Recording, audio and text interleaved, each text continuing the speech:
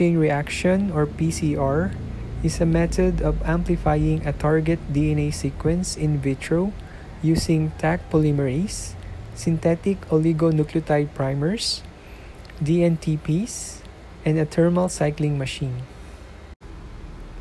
This technology was developed by Kary Mullis in 1985, and with this invention, he was awarded the Nobel Prize in Chemistry in 1993. The objectives of this study are to learn the principle of polymerase chain reaction, to describe how to prepare PCR master mix, and to explain how to operate a thermal cycler. The materials for this exercise include bacterial DNA or plasmid, Taq polymerase, DNTP mix, PCR buffer, ice bucket,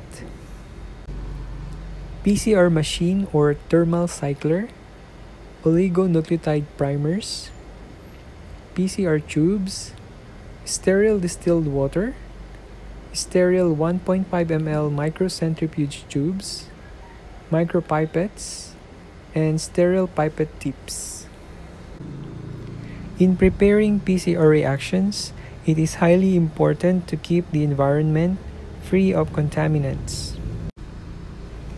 Work in the PCR cabinet and always disinfect the bench or working area with 70% ethanol. Always use sterile microcentrifuge tubes and pipette tips. Wear fresh gloves and autoclave all solutions except for the heat labile enzymes. Store reagents in small aliquots to prevent contamination of the stock solution. Always include a negative control which does not contain the DNA template to ensure that there is no contamination from the reagents. Always put PCR reagents and DNA samples on ice bucket to protect it from heat degradation.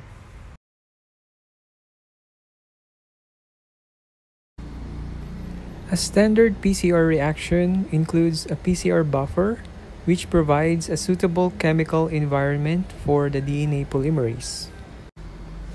Magnesium chloride as the source of magnesium ions for the activity of the DNA polymerase. DNTP mix, a source of nucleotides from which the DNA polymerase builds new DNA fragment.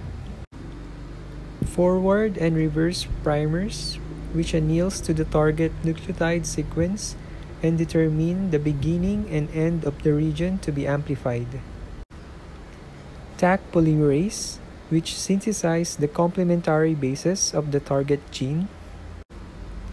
DNA template, which contains the region to be amplified, and sterile distilled water to dilute the PCR reaction to its final volume. Sterile distilled water is also used as the negative control for PCR reactions. This table shows the stock concentration of each PCR reagent and the allowed range of final concentration. The final concentration of every PCR reagent must be optimized depending on the DNA sample and primers to be used. This table also shows a sample PCR reaction with 20 microliters volume per reaction. The total number of PCR reactions will be 20 and an additional reaction volume will be included to cover possible inaccuracy of pipetting during the preparation. Prepare the PCR master mix in a sterile 1.5 ml microcentrifuge tube. Always use new pipette tips to prevent contamination of the reagents.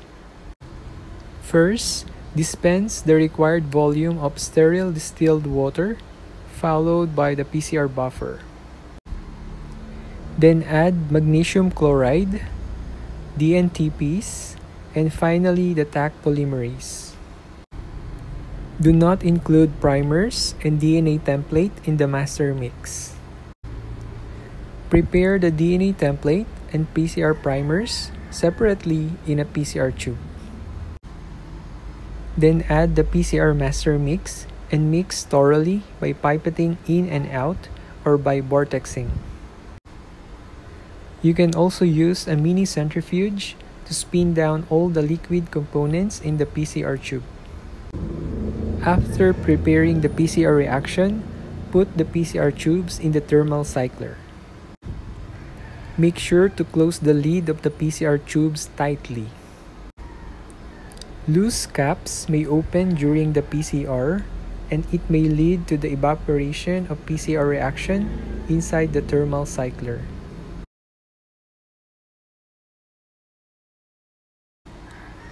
PCR thermal cycling profile commonly includes pre-denaturation, denaturation, annealing, extension, and final extension steps.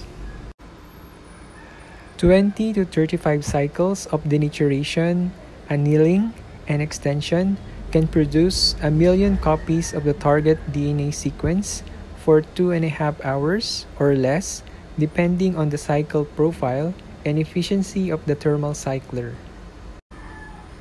This table shows the allowed temperatures and duration for each step in the PCR cycle. The first step in PCR cycle is the denaturation step, where the sample DNA is denatured using temperature above 90 degrees Celsius. The heat will break the hydrogen bonds between the complementary base pairs causing the double-stranded DNA to separate. This will be followed by the annealing step which has a lower temperature. On this step, the primers will anneal or attach to the target DNA sequence. The primer sequence has high specificity to the sequence of the target gene to be amplified. The third step is elongation, where the DNA polymerase forms new DNA strands by adding new nucleotide bases complementary to the target DNA sequence. These three steps will be repeated for several cycles, making millions of copies of the target DNA sequence. Thermal cycling conditions should also be optimized. Annealing temperature, where primers attached to the target genes or DNA sequence, has been observed to greatly influence the PCR result.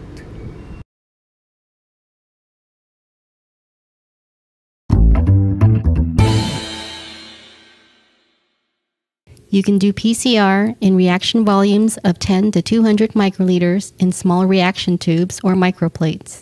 We recommend using thin-walled reaction tubes or plates designed for PCR. There are seven components in a typical PCR reaction.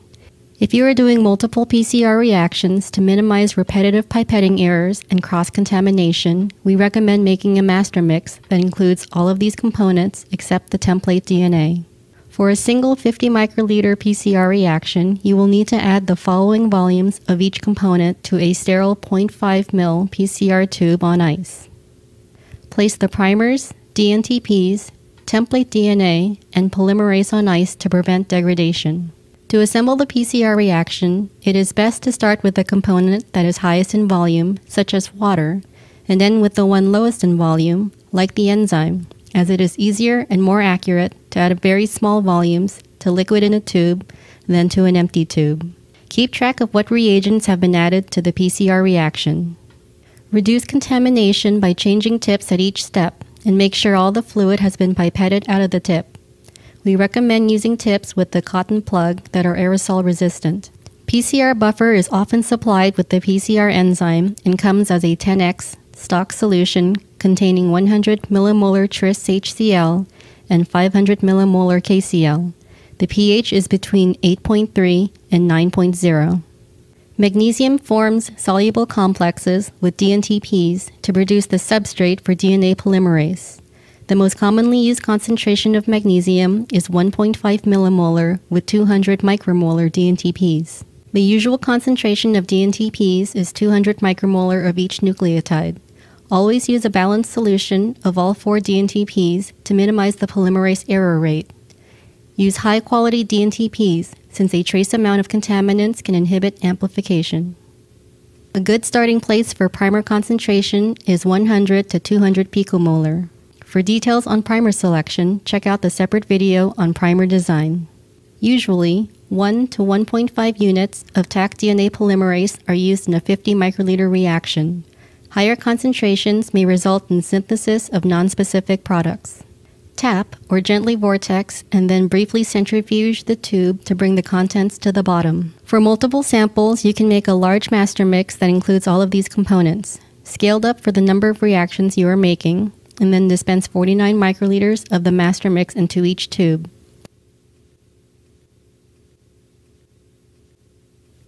Now you are ready to add the template DNA. The range is 0.01 to 1 nanogram for plasmid or phage DNA and 0.1 to 1 microgram for genomic DNA for a 50 microliter reaction. A higher amount of template DNA than this usually results in an increase in nonspecific products. Cap the tubes and centrifuge them briefly to bring the contents to the bottom. Your reactions are now ready for thermal cycling.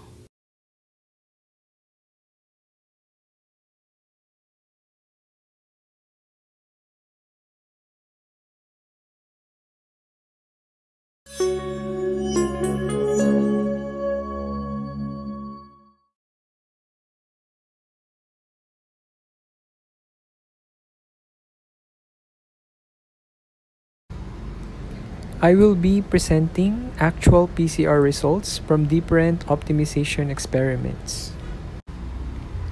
On this result, we can observe the effect of annealing temperature in PCR. Annealing temperature allows the primers to anneal or attach to the target DNA sequence. Too high annealing temperature may lessen the chances of primer annealing to the target gene. On the other hand, too low annealing temperature may lead to mispriming to non-target DNA sequences. Non-specific annealing of primers can result to several bands in the PCR product. To increase the specificity of primers, the highest annealing temperature where target bands are observed is commonly used.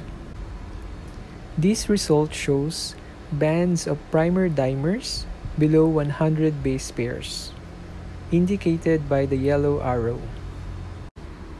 Primer dimerization may result from excessive primer concentration. Excessive primer concentration may also lead to amplification of non-target sequences which will appear as bands with different fragment size from the expected PCR product indicated by the orange arrow. Optimum primer concentration must also be determined. Optimized PCR components and thermal cycling conditions will provide PCR amplicons with the expected fragment size. Optimized conditions can then be used to produce consistent results in PCR analysis.